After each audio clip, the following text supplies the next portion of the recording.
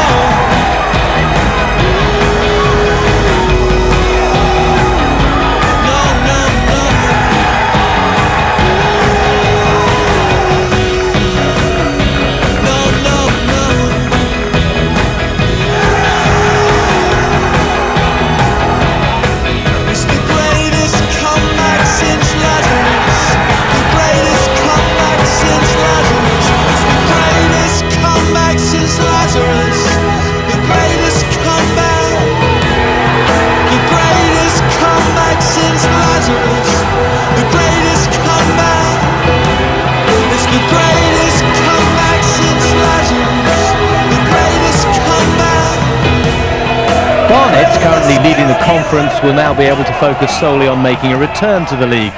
They went ahead against Bath City three minutes into the second half, Liam Hatch their scorer.